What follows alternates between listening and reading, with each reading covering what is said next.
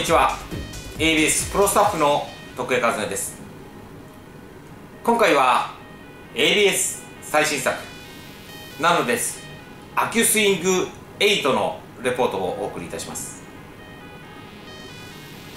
独自の製法揺るぎない信念で数多くの名作を生み出してきたナノデス・アキュスイングシリーズ。ABS50 周年。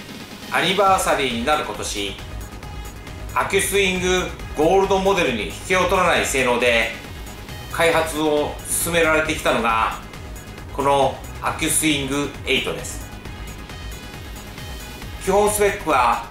アキュスイング7で使用してきた VGI バルブコア with マグネットコアにケミカルから見直された新カバーストック。対応コンディションをミディアムヘビー以上に設定するための2000アブラロン仕上げ開発スタッフ満場一致の一点の曇りもないパーフェクトな仕上がりで自信を持って発売することができます。このアキュスイング8の開発コンセプトは Continuous コントロールされた持続性な曲がりです。実際にアキュスイング8と比較を行い参考にした性能分布はモーティブ社カバートリボルト。コロンビア社テイクダウンで放たれた瞬間から転がりミッドエリアの安定した曲がり始めからさらに転がり感を増しながらピンヒットまでそのパワーを持続することができるのがこのアキスイング8の特筆すべき点です。もう一つ忘れてならないのはピンアクションで。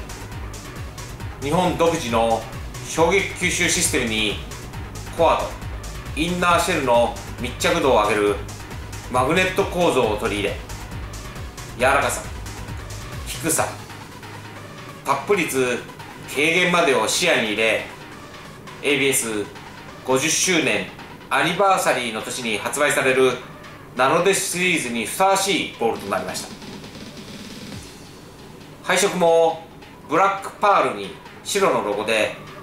渋さと重厚さまでを感じることができます。リボルトやテイクダウンの曲がり方のイメージが合う方はまさに鉄板で必ず気に入ります。また転がりの良いボールを探している方や曲がり系でコントロールしやすいボールを探している方はこのボールは絶対的におすすめです。コンティニアスを前面に出し曲がり始めやオイルに対しての安定感。終わらない曲がりと転がりを求めた性能です。このボールはナノデスファンのみならず多くの方に使用していただきたい一品です。